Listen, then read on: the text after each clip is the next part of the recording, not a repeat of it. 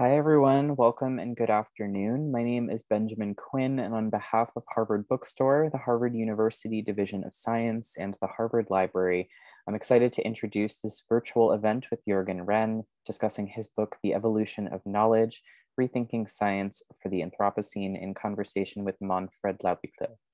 Thank you for joining us virtually. Today's event is the latest installment in our Harvard Science Book Talk series, which works to bring the authors of recently published science literature to, came, to our Cambridge community and beyond. On October 12th, Temple Grandin will join us for an in-person event at the Harvard Science Center, where she will present her latest book, Visual Thinking, The Hidden Gifts of People Who Think in Pictures, Patterns, and Abstractions. This afternoon's discussion will conclude with some time for your questions. If you have a question for our authors at any time during the talk today, click on the Q&A button at the bottom of the screen and we'll get through as many as time allows. Finally, in the chat, I'll be posting a link to purchase The Evolution of Knowledge on harvard.com. Thank you to our partners at Harvard University, and thank you all for showing up and tuning in in support of authors, publishers, indie bookselling, and especially for science. Now it is my pleasure to introduce today's speakers. Jürgen Renn is director at the Max Planck Institute for the History of Science in Berlin and at the Max Planck Institute for Geoanthropology in Jena. He is a member of the German National Academy of Sciences Leopoldina, the International Academy of the History of Science, and was elected to a fellowship by the American Association for the Advancement of Science. In recognition for his significant contributions to the history of science, Dr. Renn has received numerous awards, including the Francis Bacon Award and the Max Planck Communitas Award. Today, he is joining conversation by Manfred Laubichler, Global Futures Professor and President's Professor of Theoretical Biology and the History of Biology at Arizona State University, where he is also director of the School of Complex Adaptive Systems and the Global Biosocial Complexity Initiative. This afternoon, they have joined us for a discussion of Jürgen's book, The Evolution of Knowledge, an incisive and invaluable introduction to the history of knowledge, which the Times calls an important book and one that powerfully advances our understanding of how knowledge operates in society while directly engaging with pressing contemporary issues. I'll end with the glowing praise of Joseph D. Martin, writing in Physics Today, who says, a global history of knowledge is a breathtakingly ambitious project Renn faces down the difficulties of crafting such an account with skill and resolve. The result is provocative and challenging.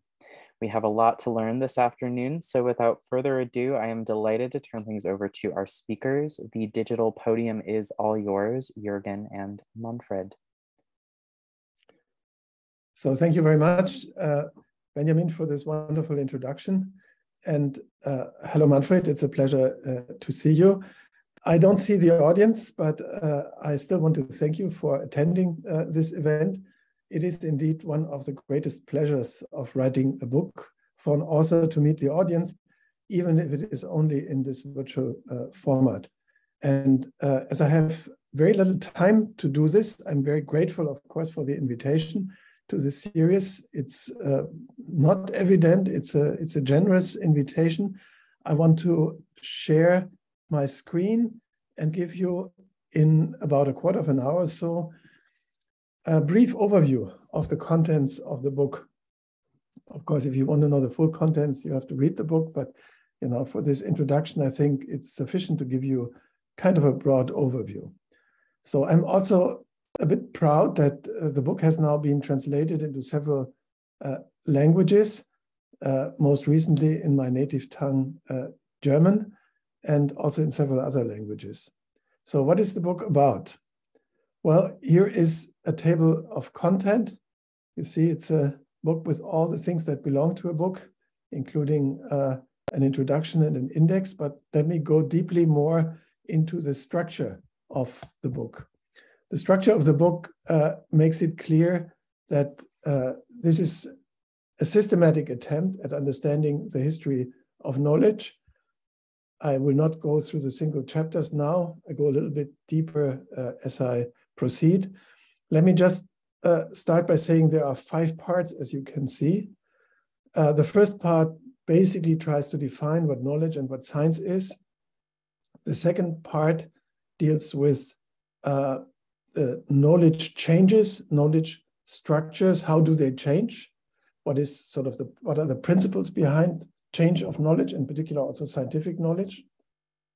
Then I go broader in part three uh, to discuss the relation between knowledge and, uh, and society.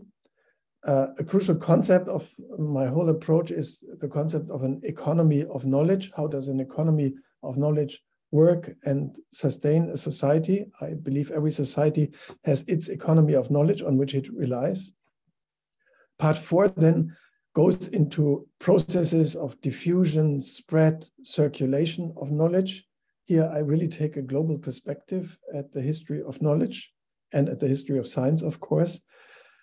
And part five zooms into the uh, current situation characterized by the fact that we have entered a new uh, epoch of Earth history called the Anthropocene. The term was essentially coined by the Nobel Prize winning chemist Paul Crutzen. Paul Crutzen is, is well known for his work on the ozone hole, but in the year 2000, he was uh, impatient with people continuing to describe our situation here on Earth as the Holocene. And he said the impact of humanity on the planet is so deep, we have to speak about the Anthropocene. And uh, several people, many people, an exponentially growing number of people took up this term because it invited to think, rethink the relationship between nature and culture, and hence also the relation between knowledge and science and the industrial world that has brought us into the Anthropocene. So that's the final part. So let me give you a bit now just of a, of a feeling, of a glimpse for the book. It starts with the story of this book. It's a long story. Uh, as Benjamin has mentioned by way of introducing me, I'm a director at the Max Planck Institute for the History of Science, and in my department for 25 years, we have worked on problems not just of the history of science, but with a theoretical uh, perspective on the evolution of knowledge as a background for the history of science. So the book, in a way, tries to systematize work that we have done in the department with many guests and many you know, collaborations all over the world over 25 years. And that's the story of this book. And therefore, the book starts with the story of this book. And from the screen picture that I'm sharing with you, you can also see a typical character of the book is the mottos. And here I start with a motto by Erwin Schrödinger from What is Life to show that this is maybe a premature, maybe a very risky, but indeed an attempt to embark, as to use Schrödinger's word, on a synthesis of fact and theories, albeit with incomplete knowledge of some of them and with a great, uh, great risk. And uh, this entire venture, I thought, is uh, also somewhat of an interesting reading. How does one come to this enterprise? Current history of science is very much characterized by case studies, by uh, by very localized, by a very localized focus. So at the Institute, we have from the beginning tried to pursue a much more global perspective and how we came to it and what its principles and its results are, I describe in this first chapter. The book, another characteristic feature of the book are pictures and drawings. Here, a drawing of a French artist, which uh, I have used in many of my publications, Laurent Toudin, showing the famous myth of the golem, the Jewish myth of the golem, uh, and uh, taking up uh, the idea that science is is a golem in the sense of having been created by humans, but uh, having become a force that now also rules over us in a way. And how can we, you know, get it back under control? So that's what this illustration is meaning to convey. Yeah, and it's, uh, as I said, uh, a history of science for the Anthropocene to help us think uh, about solutions to the climate crisis, the biodiversity crisis, the environmental crisis, this multiple crisis, which is the characteristics of the Anthropocene. And again, I start with mottos. Let me just read one of them because I like it. And it's basically an expression of my, my attitude and my deep belief. From Johann Amos Comenius from the 17th century, anybody who does not earnestly wish that all humanity is well, therefore abuses it. But he is not even a true friend of himself if he wishes to live as a healthy man among the sick, as a wise man among the dumb, as a good man among the bad, or as a happy man among the miserable. So this book is not about and for the elites. It's a book for everybody who is interested in knowledge and what knowledge can do to help us in a situation that I have, as you can see from this uh, subheading down here, characterized as stormy weather. But it's of course much more than stormy weather. You know, scientists go to the streets. Uh, you know, scientists for future, Fridays for future, uh, uh important movements uh, that show that people are impatient with what is currently being done about the climate uh, crisis. But I think it's not just a matter of going to the streets and demonstrating for science and scientific and rational solutions to the Anthropocene crisis, but it's really also a matter of rethinking science itself. And that's what the book is about. So the book uh, gives a theory of human knowledge and uh, it uh, proceeds rather systematically and that this is something not outside the perspective of the Anthropocene is clear from, again, a motto by Paul Crutzen himself. I just introduced who is uh, Paul Crutzen. And he himself, who was uh, a chemist and uh, very much concerned about the human predicament, also saw the necessity of changing uh, the kind of uh, ways in which we produce knowledge. So I just read a few lines we still need to learn new and better ways to think, to apply our minds, especially to be able to really get our minds around such massive issues as climate change in the larger context of the Anthropocene. This may require taking a serious step back and becoming more reflective about our, how our own thoughts work. If we can learn to do this, then not only will we be able to forecast a safe Anthropocene, but perhaps even more importantly, a beautiful Anthropocene. So that's Paul Crutzen, who basically invited us to do such a thing, which I try to do in this book. And I start, of course, from epistemology, for instance, from Kant, but I go back even further, back to Plato and others. You know, I use media theory and uh, inspirations from modern art and I use cognitive psychology. Here, picture of Piaget uh, interacting with children. But I'm just not just using such uh, theoretical resources. I'm, of course, I need to transform them. We need to transform them in order to apply them to, uh, to an evolutionary approach to the understanding of the history of knowledge. So as I said in the beginning, structural changes in systems of knowledge, that's actually the name also of my department at the Max Planck Institute, is where we systematically study this, traditionally called scientific revolutions. But one of our points is they're much more cumulative, much more long-range processes than, than can be described in terms of paradigm changes, to, uh, to quote Thomas Kuhn.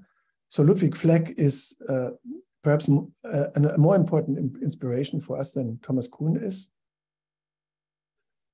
And I talk about things like borderline problems, overlaps of disciplines which create problems that then trigger novelties, as here in the case of uh, Einstein's work.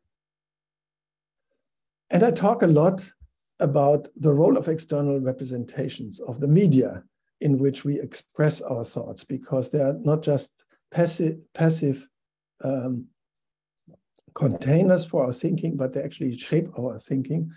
And one way in which I try to elaborate on this is by uh, looking at the emergence of writing in the Mesopotamian context, as well as in other contexts, and the emergence of mathematics. Uh, so I always try to deal with both the history of knowledge, as you can see, uh, the history of writing, but also with science proper, the nature of scientific uh, revolutions, looking at something like the so-called, the famous, written in capital letters, scientific revolution of the early modern period, here manuscript from Galileo.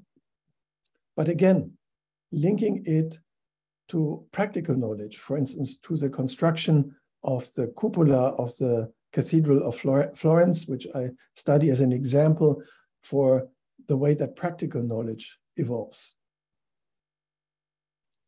And a special feature of the book is that it has a lot of explanatory stories. So you can read the book not just linearly from the beginning to the end, you can just browse it and use it in, in a way to uh, delve into kind of short stories. These explanatory boxes are really kind of short stories about the history of the history of science, like Kuhn versus Fleck. They introduce you to special relativity, as in this example here, explaining concepts with which a non-physicist uh, wouldn't be familiar. But also, as in this case here, uh, you know, the history of concepts like the axial age, the supposed moment in which, uh, you know, uh, thinking changed worldwide in the first millennium, thinking about religion in particular.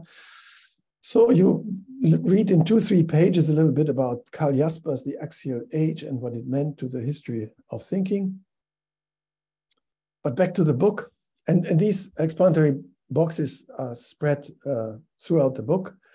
And I don't just deal, as I said in the beginning, with the European and Western history. I, I look at the multiple origins of the natural sciences, and I really believe, and I hope I can show it, that uh, science as we know it today, sometimes, you know, uh, just labeled Western science, is really a product of globalization, is a global product. And I look in specifically also into the Chinese case, uh, taking uh, the Jesuit exchange, because it really was not just a mission, but it was an exchange between Chinese scholar and uh, Jesuit scholar as an example. And I try then to also develop tools to study such dissemination and exchange processes. And one of the tools that I develop is taken from uh, social network theory. Here you see two famous names of social network theory, Stanley Milgram and Duncan Watts. And, uh, and they ask the right questions, but I think one doesn't just need uh, social networks, one needs epistemic networks. One needs to really factor in the knowledge dimension. So the question that Duncan Watts here, for instance, asks is how does individual behavior aggregate to collective behavior? As simply as it can be asked, this is one of the most fundamental and pervasive questions in all of science, and I totally agree with that. Here are some examples uh, that I describe of different kinds of networks. But as I said, I amplify this concept into uh, the concept of socio-epistemic or simply epistemic networks. Yes, and here is a topic then that gives the book its name, Evolution of Knowledge. And uh, I try to relate uh, the concept of evolution here to other discussions of evolutions, which are pretty popular. Cultural evolution is a pretty popular topic in the social sciences, but also to biological evolution. And here's the moment where you understand why my dialogue partner is today Manfred Laubichler, because it is with him that I worked out many of the concepts that are presented here. In particular, the concept of extended evolution, which applies not just to cultural and epistemic evolution, i.e., the evolution of knowledge, but also to uh, gives, I think, new perspectives to biological evolution. One example that I study in depth is the evolution of uh, language. Here is a, as an example from a modern case from the evolution of a sign language in Nicaragua in the 70s, uh, on which there's interesting literature that I try to use to illustrate the concept. And then finally, I address the Anthropocene and the knowledge that has brought us there, as well as the knowledge that we need in order uh, to survive it. So, as the uh, wonderful uh, quotation from Richard, Richard, Buckminster Fuller is too long. I just read you the short and succinct one from Walter Benjamin. The concept of progress must be grounded in the idea of catastrophe, that things are status quo is the catastrophe. And I believe that is true. That's Ciliwung uh, River in Indonesia. That's the way that humans create sediment in the Anthropocene and how they are surviving it is something that we need to discuss, that I'm starting to discuss in this chapter on knowledge for the Anthropocene. And uh, I try to really, uh, you know, discuss the various uh, positions on the place of humanity in the Anthropocene. You can see my sources are very diverse from Friedrich Engels, beautiful uh, quotations from the Dialectics of Nature, to Mahatma Gandhi, who says, Earth provides enough to satisfy every man's need, but not for every man's greed. Here is a timeline uh, that shows different proposals for when the Anthropocene started. It goes from the extinction of the megafauna in the late Pleistocene via the Industrial Revolution to the so-called Great Acceleration of the 1950s. And uh, I discuss all these different positions and what speaks for and against them. And I always go back to deeper historical sources. Here, an image that shows nature in three kinds of embodiments. In the background, you see, you know, an uh, urbanized, civilized nature. Right in the foreground, you see nature as nurture. And to the left, you see uh, it's from the 17th century, but you see something that we use today in, in modern earth sciences, namely the concept of the technosphere, a human created new earth sphere. And I find it striking to find such an illustration in the historical literature. Okay, then the final chapter, and you see I'm almost closing, science and the challenges of humanity. And here I go with Sigmund Freud. The voice of the intellect is a soft one, but it does not rest till it has gained a hearing. Finally, after countless succession of rebuffs, it succeeds. That's my hope as well. And uh, of course, I, uh, I cannot give a talk or presentation without relying to Einstein. He really was a concerned scientist, which uh, still can serve as a model.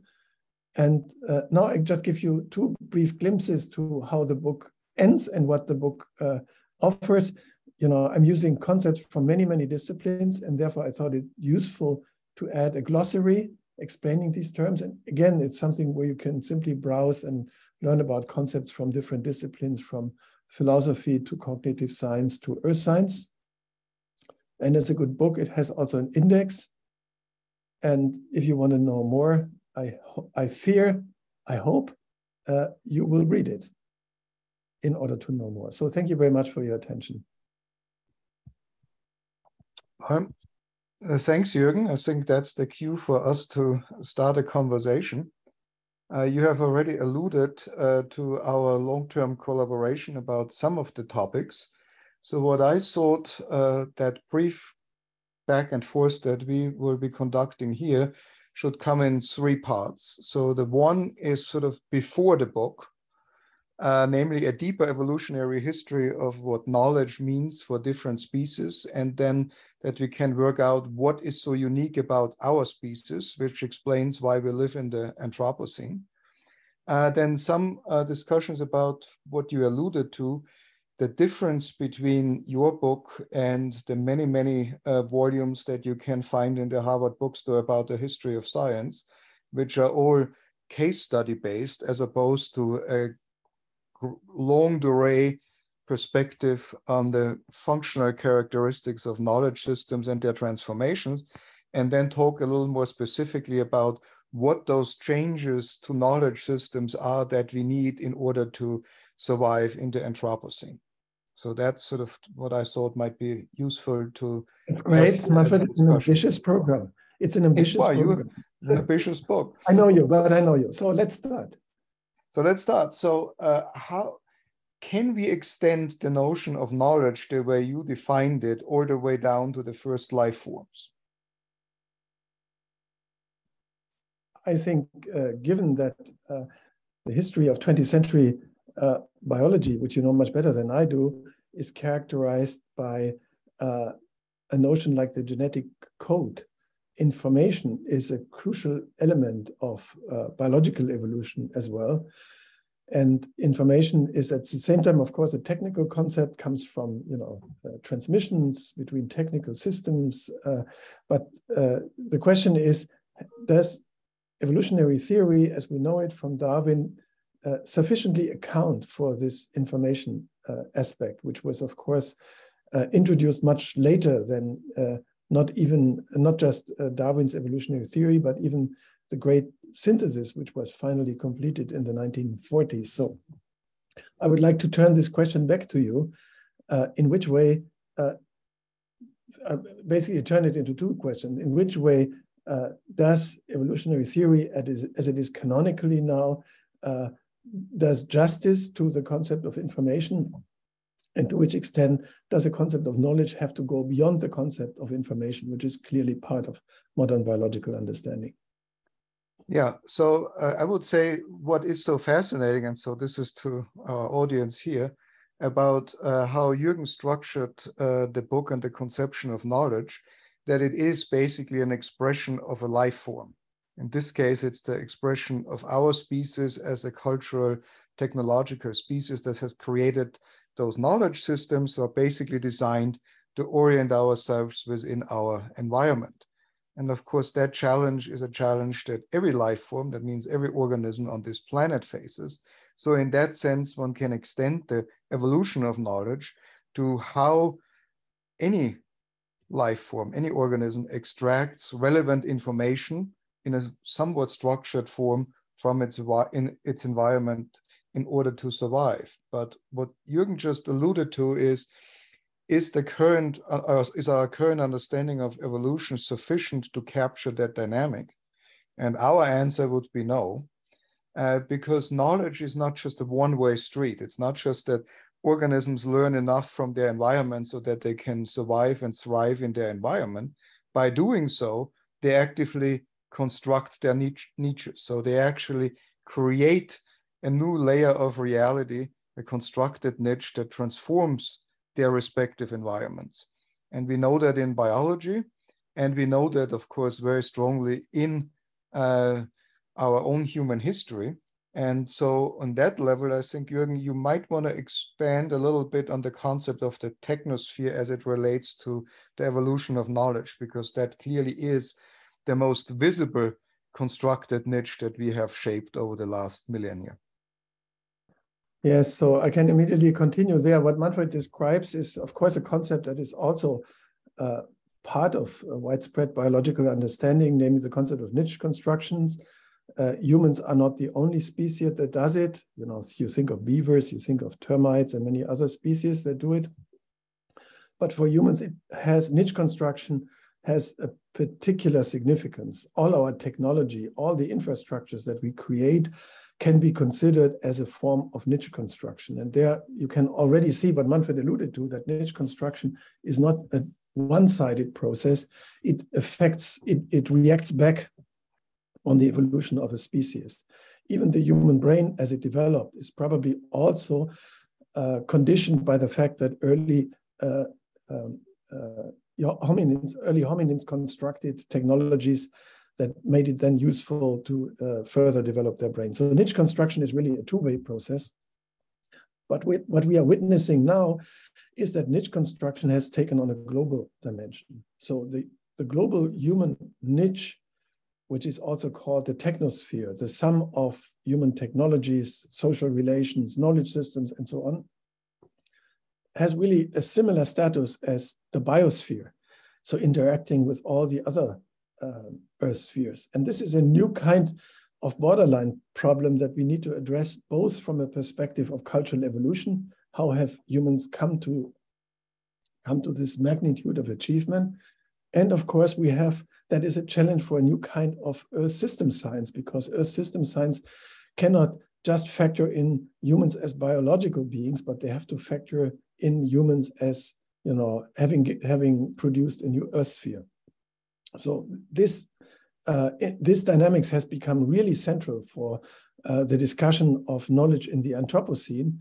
And uh, hence the idea of using biological thinking, evolutionary thinking, extending it, emphasizing the concept of niche construction is not just a, you know, an academic exercise uh, of interest to some, you know, uh, uh, discussions about evolutionary biology. It's really crucial to understand our predicament in the Anthropocene have a sort of add a few things and then we go to our next question about this. So everybody is uh, probably very well aware that there is not a square inch on the surface of this planet that has not been affected by us. And most prominently, there is not a square inch on the surface on the planet that does not contain microplastics. So clearly microplastics is a product of our knowledge and technology system that is now basically covering the whole as like a layer over the whole surface of this planet. But while we might be sort of tempted to say this is just something that is happening now and it's very unique because of the abilities of our species, let me point out one previous pretty much globally or planetary transforming event. And that was, of course, in the, in the history of um, life on this earth, at some point, photosynthesis was invented as an evolutionary novelty. And it generated oxygen as a byproduct, which turned out to be poisonous for many of the existing life forms at that time. So it led to a very uh, big die off of all those anaerobic uh, life forms. But it did something even more dramatic that's often not recognized, and that is that approximately 70% of all the minerals that we find on the earth, uh, on the surface of on, on our planet, are basically dependent on that biological innovation because they all contain oxygen, which didn't exist before. So photosynthesis, release of oxygen, transformed the geological structures of those planets because most of the minerals that we have wouldn't exist otherwise. So this is sort of the magnitude that we are talking about. It's really on a broad planetary and geological scale. Of course, that event took quite a long time to manifest itself. So what's different today is the speed within which that happens. And so, Jürgen, so if you sort of think back about sort of the various transformation of knowledge systems, in what way are they intricately linked to uh, acceleration of humans shaping the planet? Well, there is one obvious connection because many of the human innovations have to do with mobility.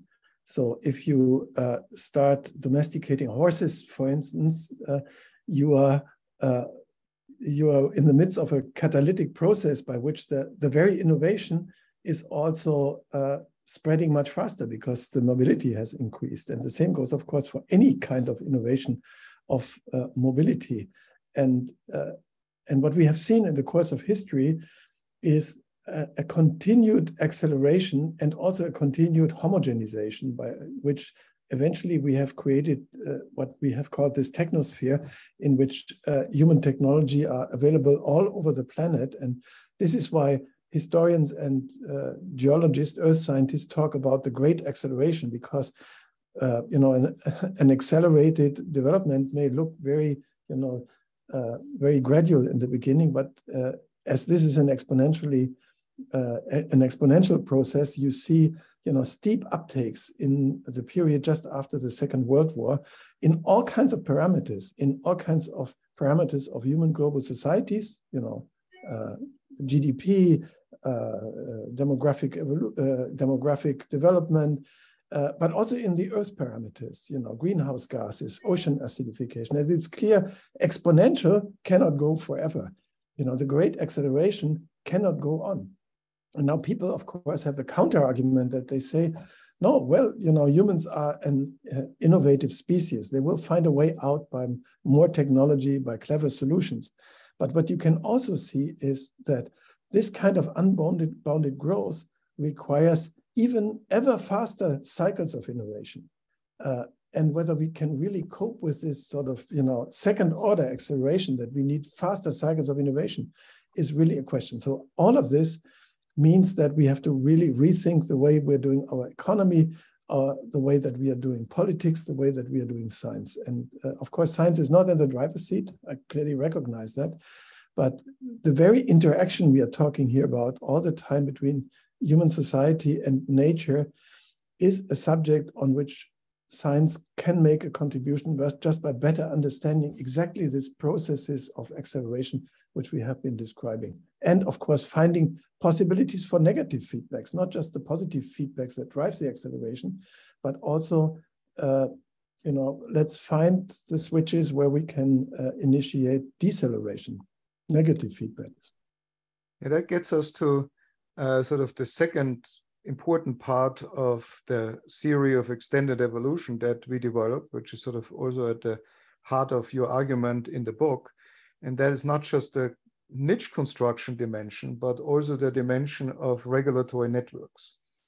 So to the audience, sort of within biological evolution, it is now relatively clear that the, the really transformative, or I would say interesting events in evolution are not just a single mutation at a gene that gives some slight modification of a particular function, but it is those elements where the regulatory structures, we call it in the genome, the gene regulatory networks that control the expression of other genes get rewired. So a concept that emerged uh, over the last several decades within evolutionary biology is the concept of regulatory evolution. So the evolution of those regulatory systems that then actually control the expression of other genes. Now, we have already alluded to the fact that there is an interesting isomorphism between what we consider knowledge or scientific knowledge, technological knowledge, and what's considered to be the information paradigm within biological evolution. And now when we really look at how those systems operate, we see many more similarities, namely that there are regulatory features. And I think going to back to what you just said about what kind of science do we need to survive in the Anthropocene, is it the discovery and then the implementation of relevant regulatory structures that basically allow us to uh, live more in harmony within the means that uh, are afforded to us by the planet we inhabit? Yeah, of course, there are many regulatory structures. You know, the, the global economy is a regulatory structure global uh, uh, governance, as weak as it is, is a regulatory structure. International politics, with all its uh, conflicts, even the military system, if you wish, is a, is a regulatory structure, but also the knowledge economy. I mean, all the ways that societies worldwide uh, produce, share, and disseminate uh, knowledge. And I think we have to better understand how these different regulatory structures interact, what kind of effects they have on each other on a global scale in order really to better understand where the intervention uh, points are. We have to understand, for instance, also historically, you know, when societies uh, experienced uh, extreme events, uh, what did they learn from it? You know, what were uh, conditions under which societies developed resilience or under which conditions uh, did they collapse? And these are all processes that require both the concepts that we have been emphasizing niche constructions because societies create their niche, create their environment, change their environment. And they're, of course, uh, subject to these regulatory networks, the social networks, the epistemic networks, and whatnot. And understanding their interaction might help us to understand uh, this global dynamics, which we have to understand in order to cope with the Anthropocene. And this even more ambitious venture we have called geoanthropology, which is basically understanding the dynamics uh, of the Earth system, now including the human created technosphere. And that's really a novel challenge that we have to address also as an intellectual challenge. So that brings us, I think, to a very important point about the, the structure of the scientific enterprise as well as the structure uh, of knowledge that we currently have. To what extent given the challenges that we face, our scientific enterprise is woefully inadequate because it is driven by a process of increased specialization, uh, which leads to very siloed areas of expertise and uh, much less of an emphasis in trying to bring together those various dimensions. I mean, that's one of the very ambitious uh, elements of that book that by sketching the evolution of knowledge from the very beginning, you brought together all different types of domains of knowledge and not sort of go going down those very specialized silos and rabbit holes. So what can be done from based on your understanding of how knowledge systems transform themselves in order to in a way engineer a transformation of the current scientific enterprise so that it is more adequately equipped to contribute to the challenges that we face? Um, engineer, I'm not sure, Manfred, whether engineer is the right word because we know these are all evolutionary processes. And uh, so we have to look for intervention points for triggers of change. Uh, but I do agree with you that those changes are necessary. I mean, we are in uh, living in an academic system, in particular also in, in the West, but in China, it's really the same, where we use uh, things like uh, h-factor, impact factors as proxies for knowledge, for the uh, accumulation of knowledge. And I think these proxies don't really work anymore. Uh, nothing is really uh, gained just by counting publications or counting citations. But uh, you know, I think we need different standards by which the progress of knowledge uh, can be judged, and we have to find ways of refocusing on the challenges, on the problems, uh, no matter to which disciplines they belong, because most real world problems belong to more than one disciplines. But the resistance against bridging uh, disciplinary borders, uh, leaving the trench lines, is very great, in particular for young scientists who have to make their career and gather their uh, their publications for their for their curriculum. So I think the process needs to start very early. It needs to start basically even at school, where we sometimes uh, even see the same kind of division into into dis disciplines that is then uh, continued at uh, at higher levels, college level and university level. So I think we need really uh, a kind of a transversal knowledge that uh, in the past I make that daring comparison was often uh, delivered by religion or by philosophy, but we need to make it part of science. We need this transversal knowledge this reflection, this contextualized knowledge, this overview knowledge or orientation knowledge, there are many names for it.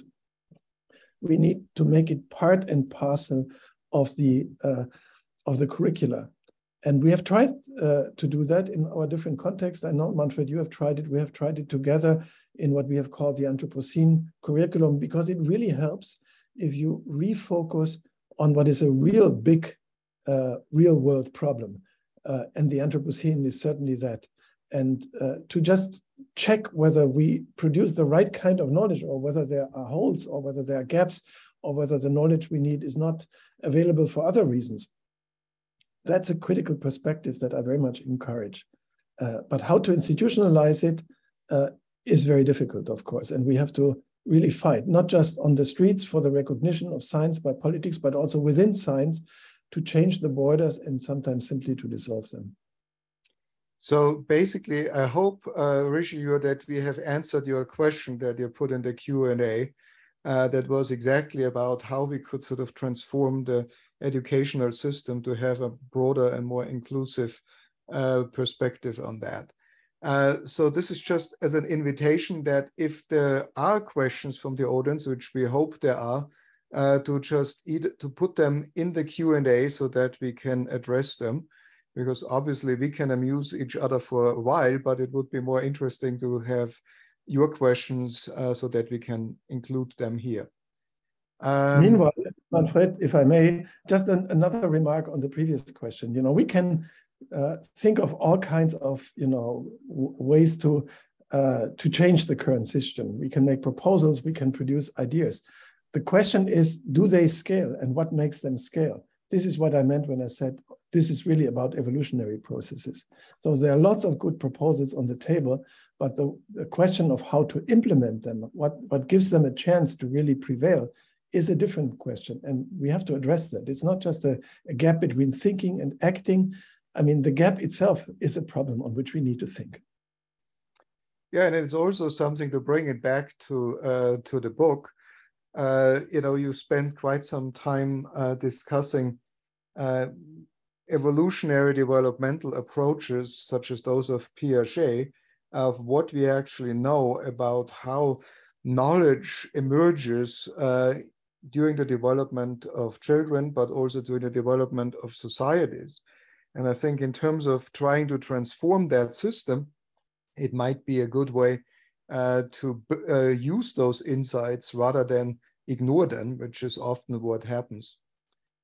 Um, there is another question in the Q&A uh, about uh, one of the most prevalent technologies of today, namely uh, artificial intelligence, and how that might actually factor in in the next transformation of knowledge systems. Yeah, I I'm not a specialist, but I also deal with that uh, subject, and it's certainly uh, a powerful instrument to to enhance the acceleration even more. Uh, this goes for all digital uh, technologies, uh, but the question is how to use it in order not to do that, not just an instrument of further acceleration, which would be dangerous. So the question is how can it be integrated into this need for more reflective thinking? Uh, I, general, I generally believe that, you know, for instance, in the history of science, where artificial intelligence is really new, many of my colleagues really still shy away uh, from it. I think it's a very useful tool. For instance, if you deal with, uh, you know, mass data, which we also have in the history of science, as long as you don't just focus your attention on the uh, great achievements of uh, of big uh, white men, Galileo and Einstein. But if you really want to go broadly, you need artificial intelligence to deal with the sheer amount of the sources. But more generally, I think uh, we, we need to create something uh, like, and, and this is a topic, of course, something like explainable AI.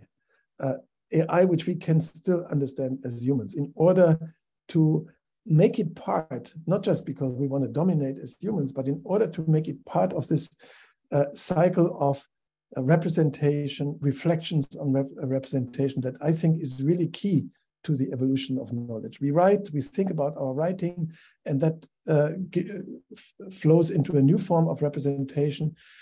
And I think artificial intelligence can and should be made part of this iterative reflection, as I call it, and not, not just replace it because we are relying blindly on some automatism. So I'm not a skeptic. I'm a, uh, you know, even myself a, a user of such programs in some of the research we're doing at the Institute. Uh, but I think in the in the broader picture, all these instruments, I mean, uh, as Manfred, by the way, analyzed with, with his, his group, the uh, information and communication technologies long before artificial intelligence were a great accelerating force in uh, catalyzing the great acceleration. So that shows me we need to find some way of shaping them so that they serve us and we don't serve them. Yeah, I think that your last point here is absolutely crucial because I think artificial intelligence is first of all not going away.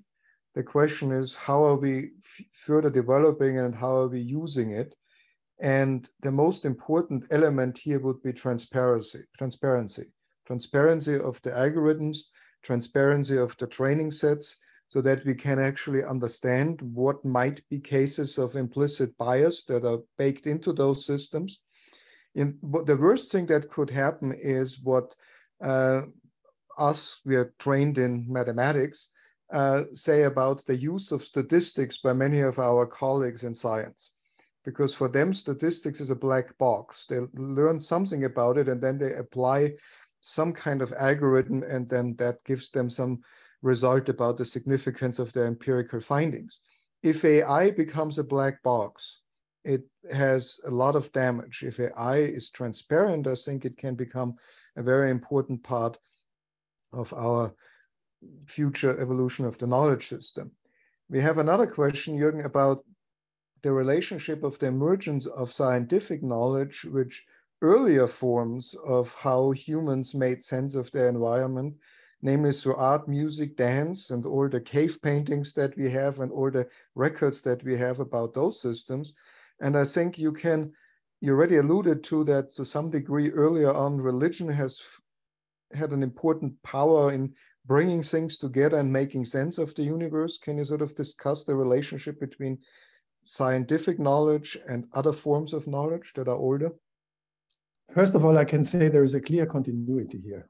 You know, uh, it, it's so obvious in many ways. Uh, people always try to make sense of their environment, of their experiences, and uh, science is is one way. the question is, is it uh, is it sufficient? Uh, you know, disciplinary science, highly specialized science, doesn't necessarily help us to make sense of the world. Although there is science, think of cosmology or the, uh, history of you of the human species that helps us to find our place in the universe. So I think we can learn a lot from these more uh, holistic traditions of making sense of this world, like uh, uh religion, like art, they have powers of reflection that uh, often lie really outside uh, of what science is. But I think it should not just be, again, a separation boxes here is art, there is science, there is religion. But I think the tensions between them are an important force of, uh, of our human development. And so let's let's look at the overlaps. Let, let's look at the frictions between them. But speaking now less as a philosopher and more as a historian, science really emerged in societies, typically urban societies, with a high division of labor, where you have some elites having the free time uh, the, to pursue things for the sake of gaining knowledge. To use in the Babylonian world, for instance, when people started not just to do accounting in order to run their economy, their slave economy essentially, by the way. But when they started to explore what you, what else can you do with those tablets? You know, you can write poems on them, you can write uh, mathematical calculations on them. That is really the beginning of science. So science emerged as something that is really um, taking place in a free space, somewhat decoupled from the immediate purposes of life. But that challenges science, of course, always, you know, to be linked back to those to those issues. And of course, at least since the early modern period, that happened in a very practical way. Science became a productive force. But I think now we need science not just to become a productive force, we need science as an instance of reflection on where we stand and what we can and must do with our world.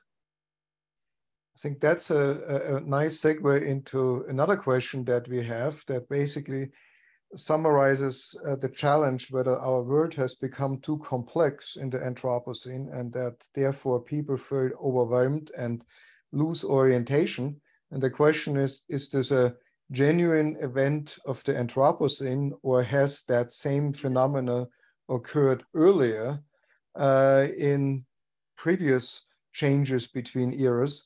Um, we sort of say a thing or two before I give Jürgen then the last word on this, because we are sort of nearing the end of the hour. I think one important feature of science is that it is an effective way of what we call coarse grain our world.